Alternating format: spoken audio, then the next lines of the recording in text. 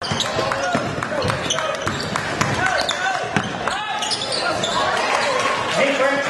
number 23.